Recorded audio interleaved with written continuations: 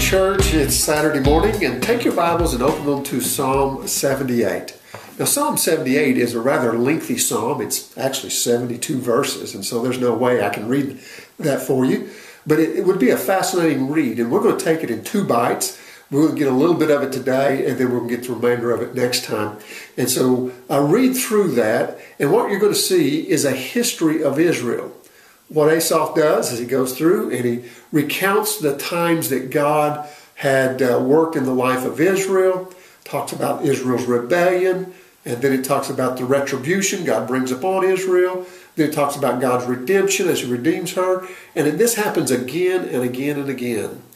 Now, at the end, I think what he's pointing to is they come to the final time of that cyclical uh, rebellion, where God has blessed, they turn away from God, God brings cursings, and God brings retribution. They repent, God restores, redemption, and so forth. Then they start all over.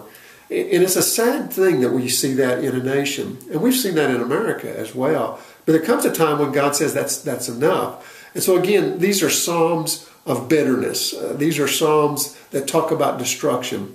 But they're so applicable to us today as a nation.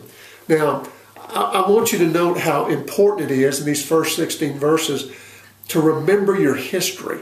And that's what the psalmist is doing. He's going back and he's recounting the history of Israel, how God blessed and how Israel was then rebellious, and then how God had to chasing her. We need to remember history. You ever wonder why the liberals today want to rewrite history in America? Because they don't want people to remember that this was a nation that honored and served God, that had God's law as its foundational um, building blocks. They don't want us to remember those things.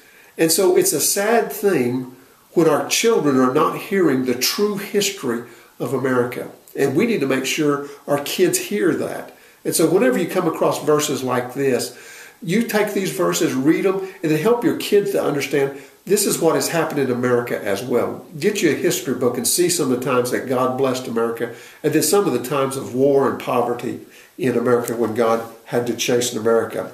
Well, let's look at Psalm 78, and we're going to look at verses 1 through 16 very quickly. Give ear, O my people, to my law. Incline your ears to the words of my mouth.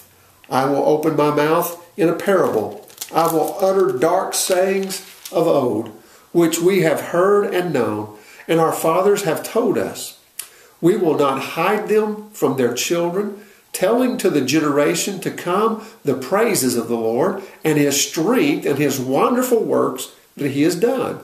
For he has established a testimony in Jacob and appointed a law in Israel, which he commanded our fathers, that they should make them known to their children that the generation to come might know them. That is the law of God.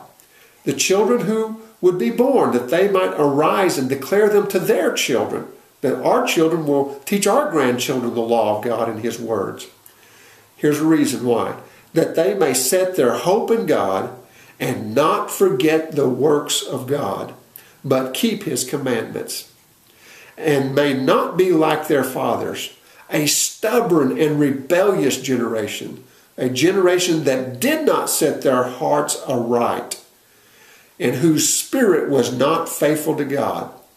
The children of Ephraim, that is the northern kingdom of Israel. It was also called Ephraim. And by the way, by the time this was written, they've already gone off into captivity. The Assyrians have destroyed them, destroyed their temple at Gerizim and uh, excuse me, at Samaria, and had just wiped them out and taken them captive.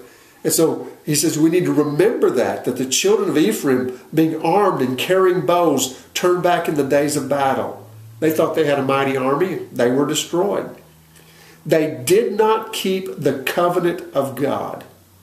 They refused to walk in his law, and they forgot his works and his wonders that he had shown them. Marvelous things he did in the sight of their fathers, in the land of Egypt, in the field of Zoan. He divided the sea and caused them to pass through. That's the Red Sea. And he made the water stand up like a heap. In the daytime also he led them with a cloud, and all the night with a light by fire. He split the rocks in the wilderness and gave them drink in abundance like the depths, that is, the depths of the ocean. He also brought streams out of the rock and cause water to run down like rivers. Now, what the psalmist is doing, he says, we need to remember the law of God. Teach it to our kids so they'll remember it, and our grandkids so they'll remember. And we need to also teach them remember our northern sisters and brothers up there in Israel. Now, he's in Judah in the southern part. Are, remember them? God destroyed them. Why? Because they forgot how God had delivered them from Egypt, how God had protected them and watched over them and got them through the Red Sea, and how God even brought water from a rock and took care of their needs. They forgot God, and therefore God forsook them. And now the ten tribes of the north are the ten tri- lost tribes of Israel. And, and they've been destroyed, they've been taken captive, and most of them will never ever come back to the land again. Only Judah will go out and eventually be brought back to the land. Again, I know it's a sad thing, it's, it's dark, but this is a part of our scripture. We need to remember our history. We need to accurately teach our children.